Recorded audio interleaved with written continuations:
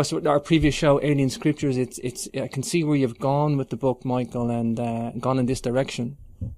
Yeah, you know, it was. I wanted to. Uh, I don't want to say get the religion part out of the way. I, I put some stuff in the book where people who either didn't read uh, alien scriptures or if they if they didn't read it, they would kind of be caught up. And then I wanted to take it to the next phase because I believe that in order for human beings to go to the next stage of evolution, we're going to have to stop looking outside of ourselves for answers and start looking with within. And mm. religion, and this is going to sound strange coming from a, a clergy person, you know, it, it can be not all the time. So if listeners are listening, I'm not saying all the time, but it can be used more to separate us than it can to bring us together.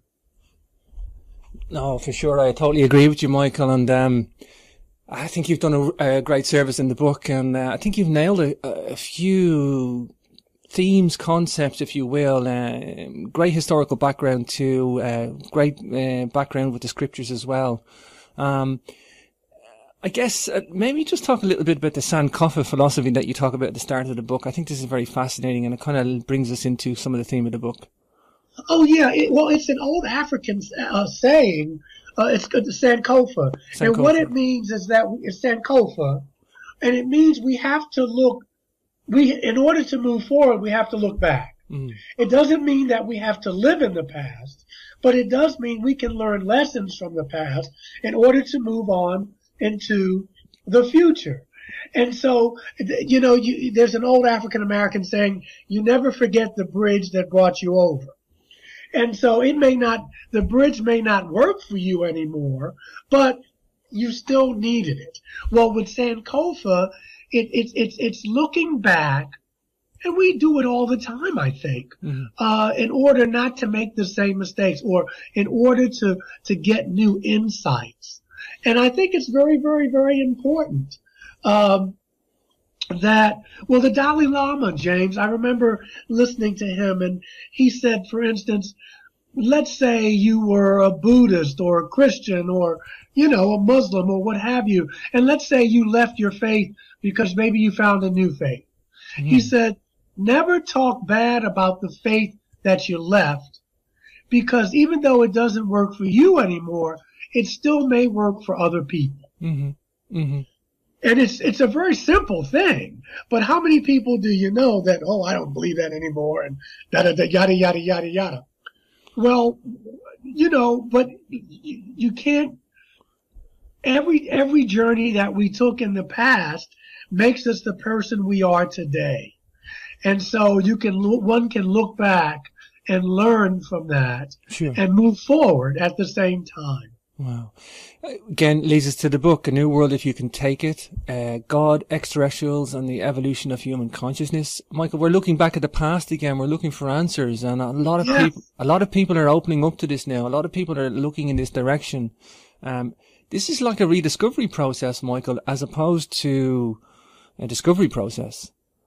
You, you, you hit it on the head, James. You know, and I was one of those people, for instance, uh, I, I, threw I threw the baby out with the bathwater. Uh, I said the Bible is is it's all uh, you know BS and the stories aren't true and you know who cares. And and but I had to take a second look at it. I'm a man of the West, mm. and by that I mean I'm shaped by Western culture. Maybe if I lived in in you know in the Middle East, it'd be uh, I'd be a Muslim, or if I lived in the Far East, I would be a uh, a Buddhist or, or, or Hindu or what have you. But the thing is, is that no matter how, how I tried to get away from the Bible, it, those teachings always came back to me. And I had to, to revisit them in order to make them pertinent for today. Because I, th- I think, I, I don't think, I know, at least for me, that there's a lot of wisdom in those books. Uh, in those stories. And then if you add the extraterrestrial component, to me, it even enhances it. Uh, and so I didn't, I had to go back and say, what, what am I doing? I'm throwing out all this stuff because either I don't agree with certain things or they may not have happened the way I thought they should happen or they've been contradictory. Wow, for sure. I had to grow, I had to grow up. Yeah. Yeah, I think that's what you and, and you allude to this later in the book as well when you talk about the 21st century perspective being important.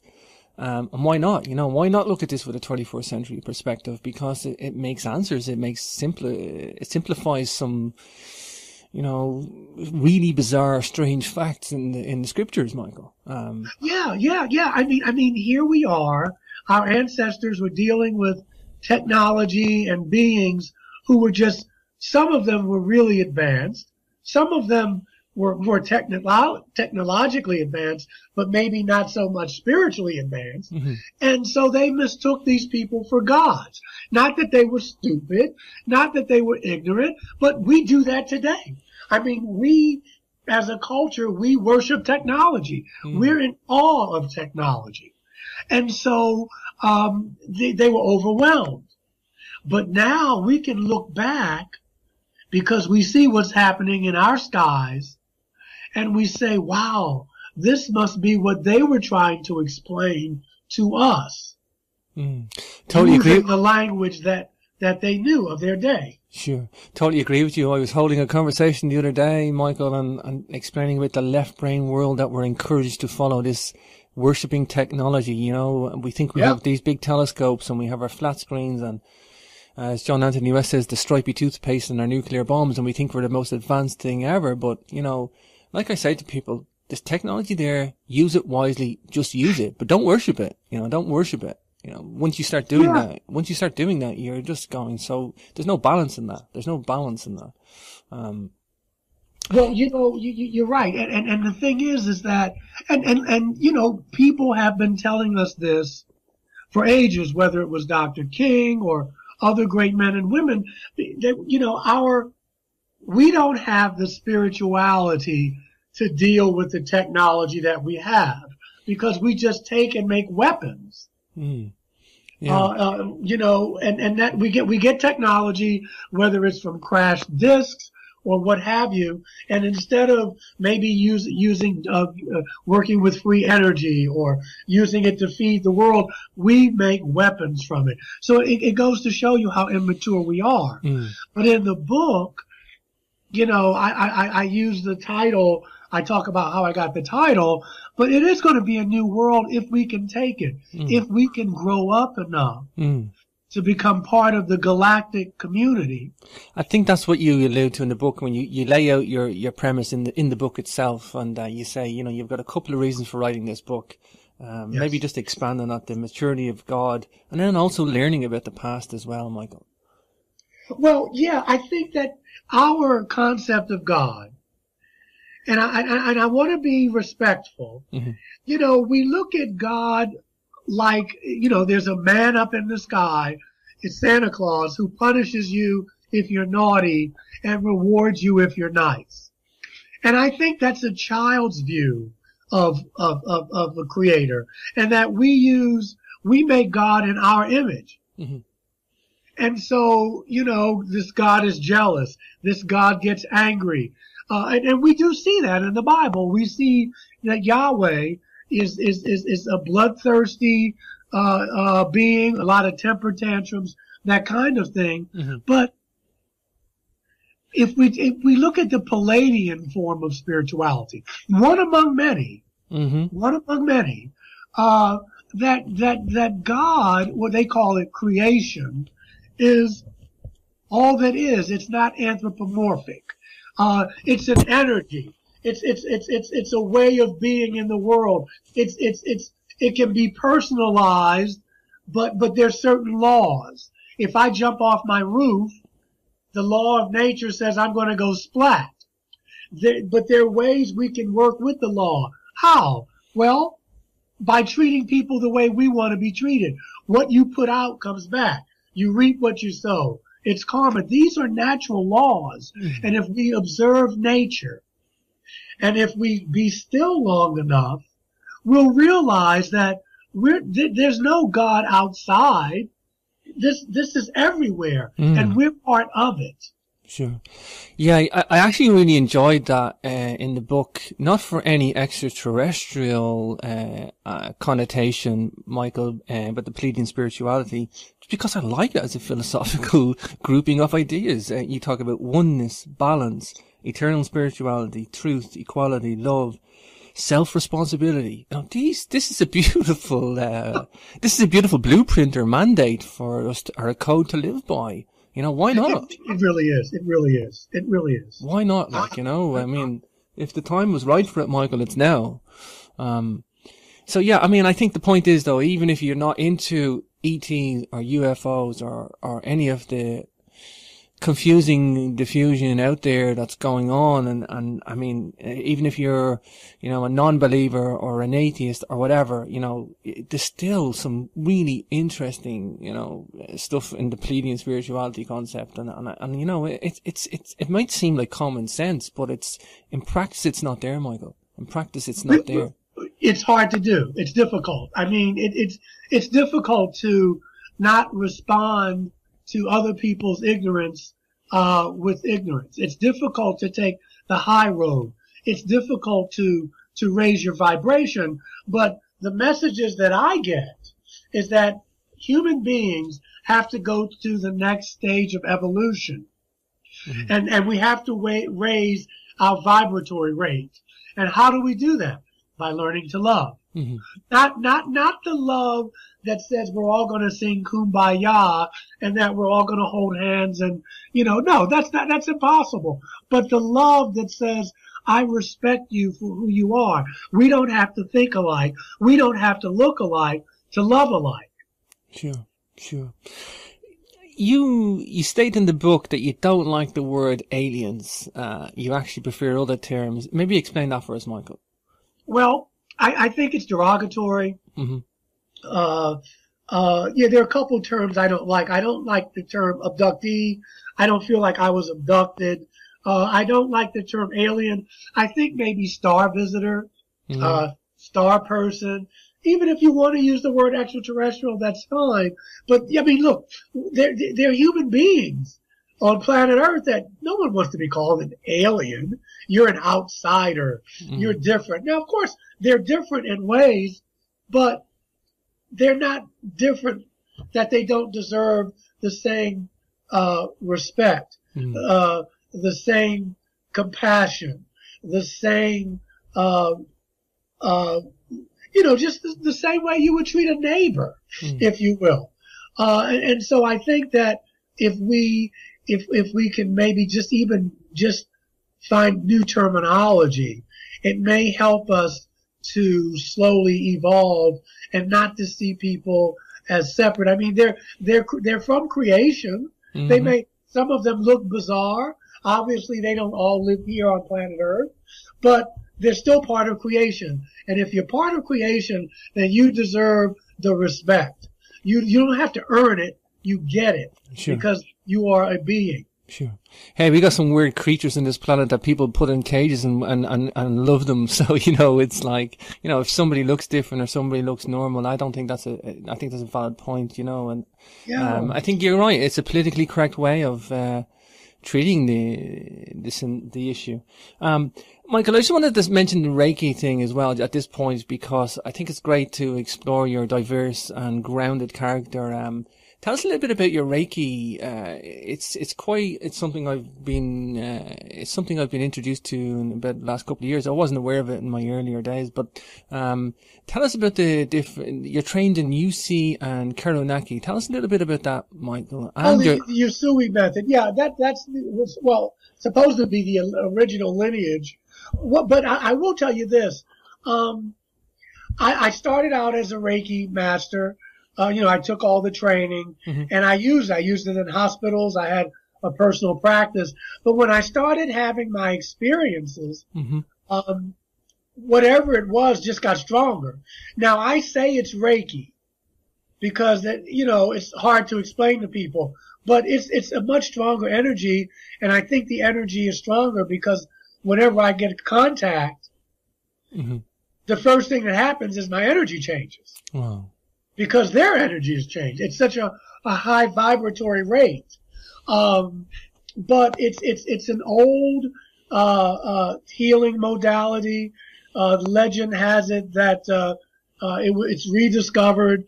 Uh, that Dr. Usui, now there are different stories, but um, he was he was supposed to be a Christian or very interested in Christianity, and he wanted to find out what type of healing Jesus and the disciples were doing. Mm-hmm. And so he came to this country and went to the University of Chicago back in the 1880s, I think. This is one story. Mm. And he went back to, uh, to Japan and as on his way back to Japan, he stopped off in Tibet and he met these monks. Mm-hmm. They were saying, man, we've been doing this for about 5,000 years. Now, there are also some stories that he had a mystical experience and what have you. So there are many different, mm. uh, explanations for it. But it is, it, it's, it's a science. You don't have to believe in God or anything like that. Um, and, and Rei means universal. Qi means energy. Chinese call it Qi. Um, it's energy, mm-hmm. like everything is. And, uh, you go through something called an attunement process. You can send it to people. You know, you, you know, you can do distant healings on people. I love it. I, I and I use it. Mm. But I just know I have a good friend who's a healer.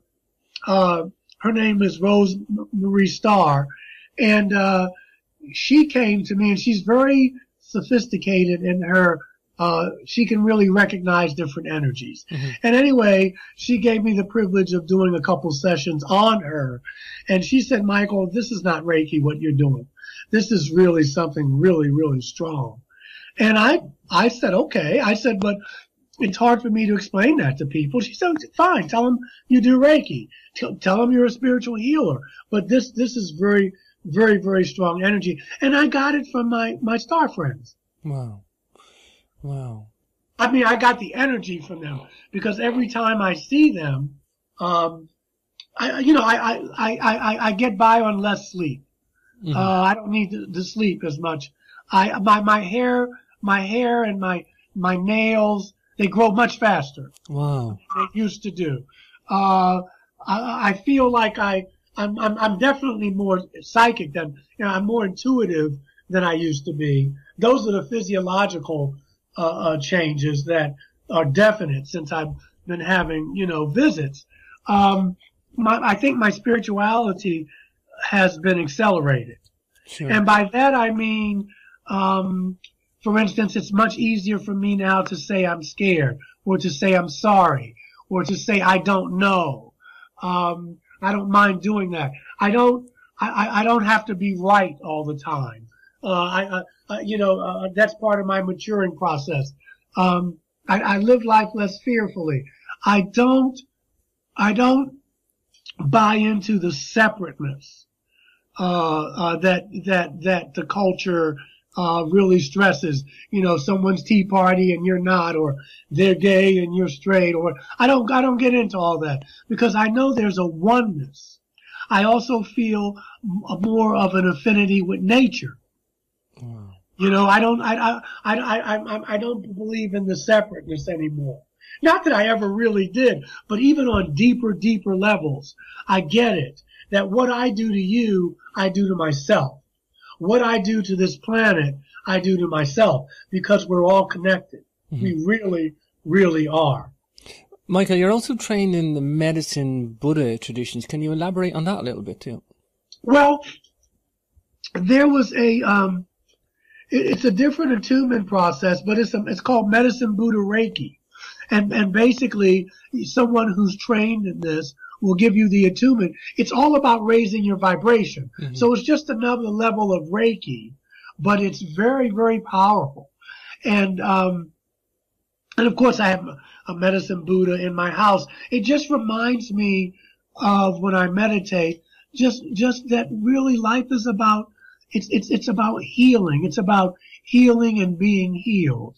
It's about reaching out and being connected, mm-hmm. whether you're an atheist or whether you're an evangelical Christian or what have you. You, you, you know, you, we have to learn to get beyond those boundaries to realize that there are no boundaries. Mm-hmm. Mm-hmm. Wow, fascinating, Michael. You know, the reason I mentioned that too, Michael, is to give a bit of depth of character to you for the listeners and to show that you're diverse outside the theology. Uh, it just branches into a practical and a healing sense too. And uh, I think you're a fascinating character, Michael. You really, really are. Um, you know, to come back to the book then, um, you know, you are very well versed in theology. You have a master's in divinity. Um, yes. Maybe tell us a little bit about the Hindu pantheon of gods and, and how that fits into this kind of picture of aliens. Um, well, well it's a great question. I, I, I tell you, and I say it in the book, I think that Hinduism and Catholicism will do very well once disclosure happens. Now, disclosure is happening all the time. Mm. Uh, but some people are waiting for the government to say, guess what? And that may happen. That may happen. It may not, but it may. But they already have the the Hindus and the Catholics. They already have um, they already deal with lesser gods, if you will. Mm-hmm. Uh, and so, uh, you know, the Catholics have their saints. And of course, the Hindus have a whole pantheon of gods. They have the, their main deity, Brahman, and then they have lesser deities. Well, that's what we're seeing in the UFO contactee phenomenon because a lot of these beings will say, yes, there is something called creation, or you would call it God, or what have you. And we're all part of that. I, and so you can see the hierarchy. Mm. Well, mainline Protestant Christianity, they don't have that. And it's going to be very difficult for them because they don't make room for lesser gods, if you will. Sure. And, sure. and so Hinduism and Catholicism, they, will do, they'll do well. They'll do well. Um, so I, but I, I mean, we'll all get around to it eventually. Sure. But, but I, I don't think they'll be so stunned. And, and listen, they're not stunned anyway, because they, the Vatican's already talking about, uh, extraterrestrial life and has been since really about 2005. And of course, Hinduism has the Mahabharata, which is, you know, a story of, uh, uh, uh, flying machines, Vimanas they're called, mm-hmm. and they're wars in the sky. And so we, we have it right there mm-hmm. that there, there's life on other planets and it's visited us here and continues to. Mm. Yeah, the Vatican's really interesting and, uh, I can't remember when I found out, but when I found out how deeply involved they are into astronomy, I, I, I sometimes wonder now, in hindsight of the last 10 years, what they really know, how much they know about ET life. Um, you know, they know plenty. They know plenty. Yeah. And, and, and, and I think that they also realize that this, the lid's going to blow off this thing eventually, and they want to be on the right side of history. Hmm. They don't. They want to be in the driving seat uh, before the disclosure comes, full on. Yeah. Yeah. Yeah. And you can't blame them. Yeah, because, I mean they're out to protect. They're out to protect their faith. Relevant. They want to be relevant. Yeah. And uh, you know, and, and and and otherwise religion will go away. Now the Dalai Lama says uh, that we need to have a different sense of spirituality and ethics that may be separate from religion, because right now religions are are are tearing us apart. Mm. Yeah, yeah. I, I, mean, if you look at if you look at the wars in the Middle East, yes, they're over oil and other resources, but they're also religious wars. Mm-hmm. Mm-hmm. Yeah, I, I, I often look at the religious wars, maybe not exclude Muslim for the moment, but I think religious wars, um, you know, it's usually governmental groups using the religion as a bargaining chip or a way to ignite or a way to, you know, exacerbate the situation. However, I think with the Muslim thing, it's more full on uh, in in, in its sense as a religious war. Um, and you know, the, and, and in fairness, the, the, Muslims bite. I mean, look at, you know, look at what's gone on with the, the Arab Spring and that, you know, they just, they just reacted. I mean, I think the whole thing started with Facebook riots. Nobody was questioning where the Facebook, uh, and the tweets were coming from that was igniting all this. Nobody questioned the source. They just responded, you know, and is, you know, eh, maybe it's too easy for, you know, religions to, you know, ignite themselves and, and there's a byproduct of that. I think inherently each religion on its own is a good thing. If, you know, if, if, it, if it was, there was a maturity about it and some sort of a, you know, an attitude to not reacting or not responding, Michael, perhaps. Well, and I, I think you, you, you hit the nail on the head. And this is why the Pleiadian, um, now there are other uh, extraterrestrial views, uh, but, but, but the Pleiadian viewpoint is, is, is, is, is so powerful and it just makes so much sense. Mm, mm. You see, uh, uh that, that our, for a lot, for a lot of our star visitors, our religions are primitive. Mm-hmm. And they're primitive because we use them as a way we fight each other. Mm-hmm. Mm-hmm. And that's not what mature people do. Sure. No, that's and it. That's so, it. yeah, in order to grow up, in order to become part of this galactic federation, in order, in order to grow up and be able to embrace other brothers and sisters in the cosmos, we're going to have to really chill out on the violence. Mm. Oh, for sure, for sure. Yeah. You know, here's the thing. Look, we're talking about a paradigm shift as well. You know, yes. And, and here's the thing for me, uh, I was aware of a paradigm shift in history, not outside any ET or religious, um, doctrines, stuff like that, you know, just in purely in a, in an alternative history. I watched a paradigm shift over the last 20 years where, you know, alternative historians are now driving the research as opposed to, you know, academia, pick on Egyptology if you like, or whatever. But, you know, it's, it's also, it's, it's not just that though. It, the, the paradigm shift is across the, the planet. It's on levels in spirituality. There's an evolving process going on. I don't know if it's evolving in the right direction, Michael, or I don't know if it's been misguided in, in another direction. I'm talking about all levels of a paradigm shift. Perhaps maybe just describe where you think the paradigm shift is today, Michael, in, in your sense, maybe just particularly with the spirituality and the, and the UFOs. I think the paradigm shift is, is, is, is on many levels. But I think what's happening is, and I feel what's happening is the old way isn't working anymore. You mentioned the Arab Spring. Uh, what's going on in Hong Kong now? People are saying this is not working.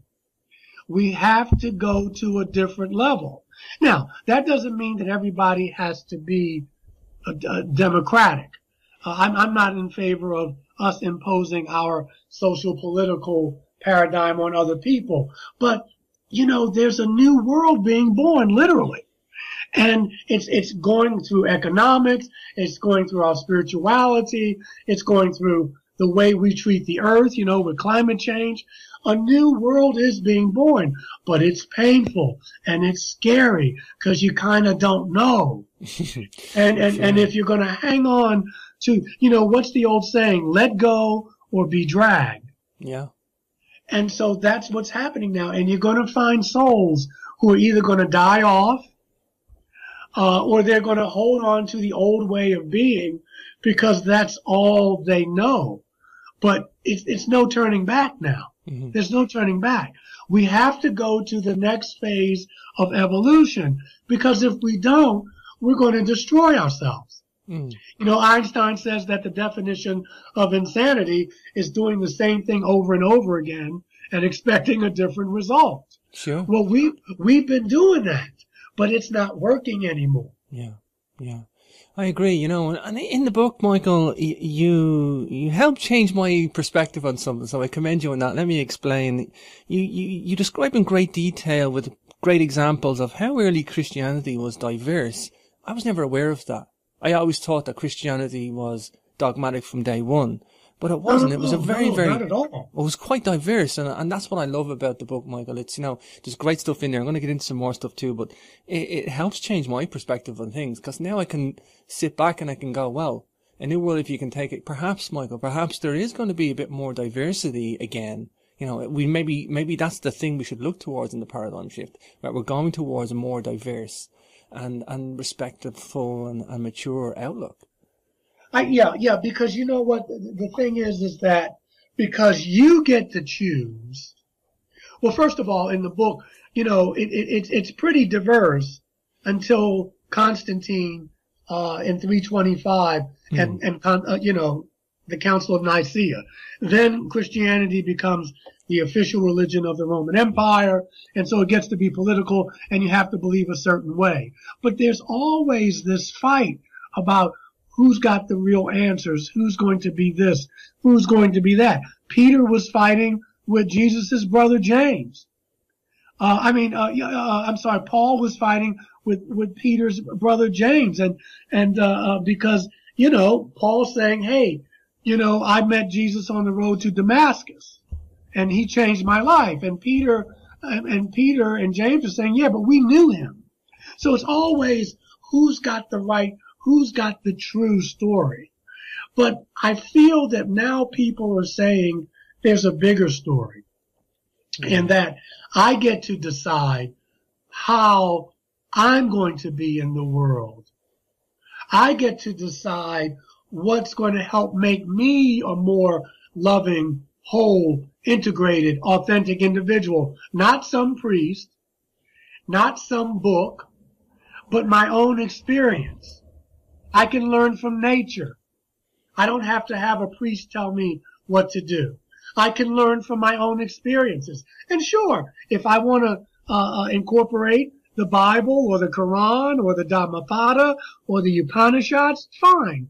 But it's because it's what's, if, if I experience it, then it's true for me. Sure. It's not because you told me it was true. Sure. It's because I experienced it as true.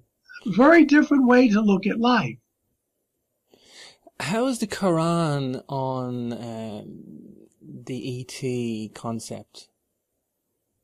Well, first of all, they, you know, they admit when you read the Quran and it says, uh, when it talks about Allah, who is Lord of the worlds, plural, mm-hmm. so they're already saying there are other worlds. Mm-hmm. Mm-hmm. They're already saying there are other worlds. Now, they have what they call the jinn. And the jinn act like angels. They fly. They have, they have, uh, they can shapeshift. Uh, they can be very mischievous. Uh, but, but they're beings from either another dimension or another world.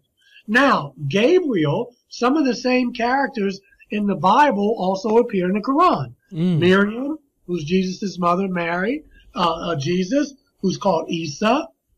Gabriel is the one who tells Muhammad to recite. And he gives him the Quran. Gabriel is a messenger. But we've now, but if you read my first book, you realize that I think all these angels are really extraterrestrials. So Gabriel is an extraterrestrial. Mm-hmm. And he is guiding Muhammad and has him recite the Quran. Now, whether or not um, these angels are trying to start a new religion, uh, you know, intentionally, I don't know. But I do know they were trying to give a primitive people some guidelines on how to live a peaceful life. For sure, for sure. I think that's the, the great thing that your work points out is the crossovers between some of these religions. Uh, Epic of Gilgamesh, is another great example. Um, the crossover of Gabriel in the Quran. Um, I mean, does none of these religions talk to each other, Michael? Do they not see the crossover? Is that the point? Maybe they don't want their crossover to be in the other one. Well, what? well, you know, we can't have Christianity without Judaism. And uh, Islam is kind of a, a hybrid. It comes out of Judaism and Christianity. Mm-hmm. So they're all, they're all in the same region of the world. They originated in the same region. And so there's, there's, there's a connection. But you can't see the connection if you're so busy focusing on the differences. It's not to say that the differences aren't there. I know. I, I I'll give an example. I don't think it's apples and oranges. I have a lot of friends and they'll say to me, sure. Michael, I don't see color when I look at you. I don't see you as a black person or whatever or native or whatever. I just see you as a person. Now I know what they're trying to say. Sure. But but but but I say you have to see my color. That's the first thing you see. It shouldn't be. It shouldn't keep us um, from connecting with each other. But to say you don't see a brown man with dreadlocks is intellectually dishonest. I want you to see that. I just don't want you to let that get in the way. Sure. You, you know, and I know what they're trying to say. They're trying to say, I just see you're just a human being. And I am. Well, with the religions, we're so busy focusing on whether Jesus is the true savior and every other religion is really inferior or, you know, it, you know, you're an infidel if you don't uh, practice Islam the way we say you should practice it. Uh, you know, we, we get caught up into that and that's not what they had in mind at all. Jesus wasn't a Christian. Buddha wasn't a Buddhist and Muhammad wasn't a Muslim. Sure. Sure. Okay, let me lay the big question on you because I know you have a chapter in the book and it's probably a good time to mention that is who or what is God, Michael? Wonderful. I, I, that's the great question. I know for me, I experience God personally, and I don't, you know, use the word, I like, I like the Pleiadian word creation, but I experience this energy is all that is. It is what keeps the universe together. Some would say it's love. I would, I would tend to agree with that. Um, you, you know, I, I, and I, and I think, and I feel that it's good that I don't, I can't give you a definitive answer because the, the, the finite can never comprehend the infinite. Mm-hmm. Whatever I say God is, I'm wrong because it's so much bigger than that. But I can tell you that God is not an astronaut. I can tell you that God is not concerned with who you sleep with or, or, or, or what political party you happen to be involved with or what football teams you want to win. It's bigger than that.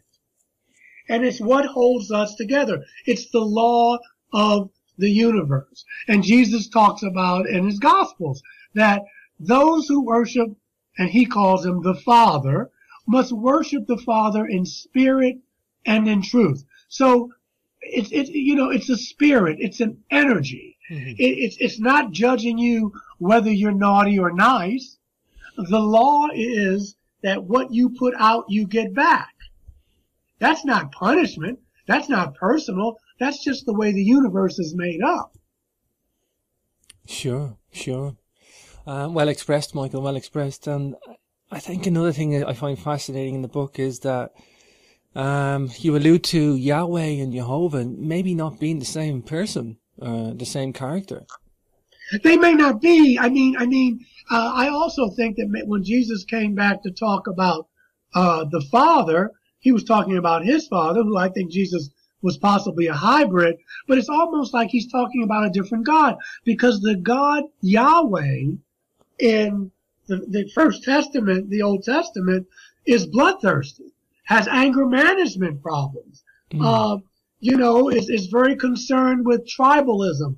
You are my people. I'm jealous.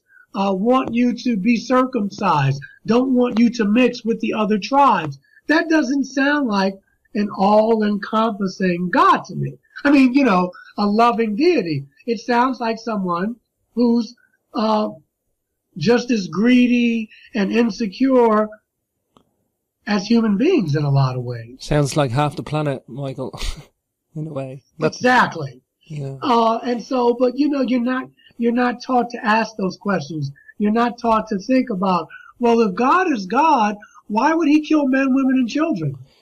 Why would he have his, his followers do that? And so I'm asking the question, if, is that a God that we want to be associated with? Is it as simple as a scholar, scholarly mix up, Michael, with the letters YHWH for Yahweh and JHYH for Jehovah? Is it as simple as that? Well, yes, because, because, you know, in, in, in Hebrew, you're not supposed to utter the word of God. mm-hmm. the name of God. So they put these uh, alphabets there in order, you know, without the consonants there, without the vowels. So you could, you could, you could say it that way. But we could argue that Yahweh and Jehovah are both astronauts. I mean, the Pleiadians say that Jehovah is, but we do know that they're not God. We do know that they are beings from another world, but not the creator or the creation uh, deity or energy that the Pleiadians are talking about. And I think we really need to look at that mm-hmm. uh, because we made God into this this man who's going to judge you whether you're naughty or nice. Mm-hmm. That doesn't seem like a mature um, a mature perspective on how the universe works. These came back to me. And I had to, to revisit them in order to make them pertinent for today.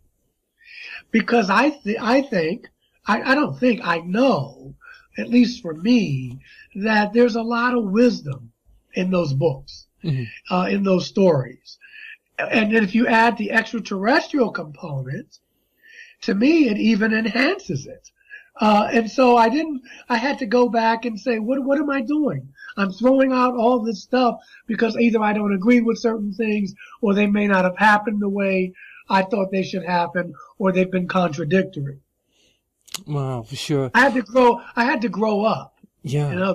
Yeah, I think that's what you and you allude to this later in the book as well when you talk about the 21st century perspective being important um, and why not? You know, why not look at this with a 24th century perspective? Because it, it makes answers. It makes simple. It simplifies some, you know, really bizarre, strange facts in the in the scriptures, Michael. Um, yeah, yeah, yeah. I mean, I mean, here we are. Our ancestors were dealing with technology and beings who were judging. And this is going to sound strange coming from a, a clergy person. you know, it it can be not all the time so if listeners are listening, I'm not saying all the time, but it can be used more to separate us than it can to bring us together. No, for sure. I totally agree with you, Michael. And um, I think you've done a, a, great service in the book. And uh, I think you've nailed a, a, few themes, concepts, if you will. Uh, great historical background too. Uh, great uh, background with the scriptures as well. Um, I guess uh, maybe just talk a little bit about the Sankofa philosophy that you talk about at the start of the book. I think this is very fascinating and it kind of brings us into some of the theme of the book. Oh, yeah. It, well, it's an old African uh, saying. Uh, it's the Sankofa. Sankofa. And what it means is that it's Sankofa. And it means we have to look, we, in order to move forward, we have to look back. Mm. It doesn't mean that we have to live in the past, but it does mean we can learn lessons from the past in order to move on into the future. And so, you know, you, there's an old African American saying, you never forget the bridge that brought you over. And so it may not, the bridge may not work for you anymore, but you still needed it. Well, with Sankofa, it, it, it's, it's looking back and we do it all the time, I think, mm-hmm. uh, in order not to make the same mistakes or in order to, to get new insights. And I think it's very, very, very important. Um, that, well, the Dalai Lama, James, I remember listening to him and he said, for instance, let's say you were a Buddhist or a Christian or, you know, a Muslim or what have you. And let's say you left your faith because maybe you found a new faith. Mm. He said, never talk bad about the faith that you left because even though it doesn't work for you anymore, it still may work for other people. Mm-hmm. Mm-hmm. And it's it's a very simple thing, but how many people do you know that oh I don't believe that anymore and da da da yada yada yada yada. Well, you know, but you, you can't. Every every journey that we took in the past makes us the person we are today, and so you can look.